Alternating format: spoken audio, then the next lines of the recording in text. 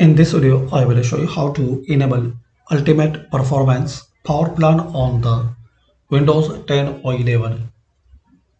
So guys, if you want to enable Ultimate Performance Power Plan, so just you have to click on Start. Now here type PowerShell.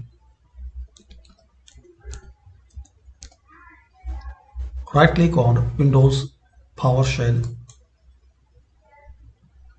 run as administrator.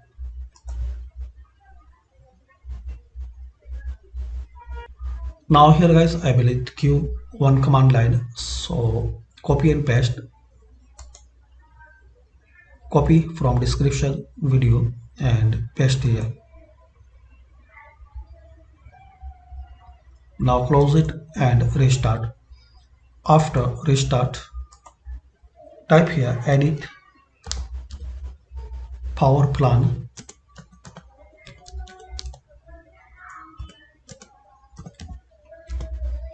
Open edit power plan.